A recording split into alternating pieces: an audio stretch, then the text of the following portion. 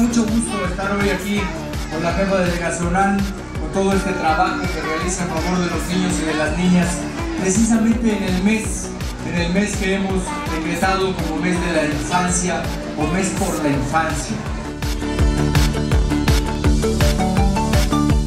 Son muchas las acciones que estamos llevando a cabo todos los días en favor de los niños y de las niñas.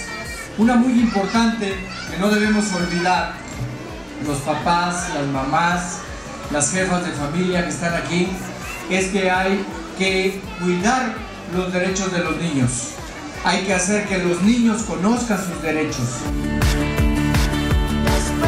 Quiero también felicitar a todos los niños que están aquí, jefe de gobierno, muchas gracias por estar aquí con nosotros festejando el Día del Niño y la Niña, ¿verdad? Porque también los niños y las niñas tienen derechos y el derecho a la felicidad es el más importante.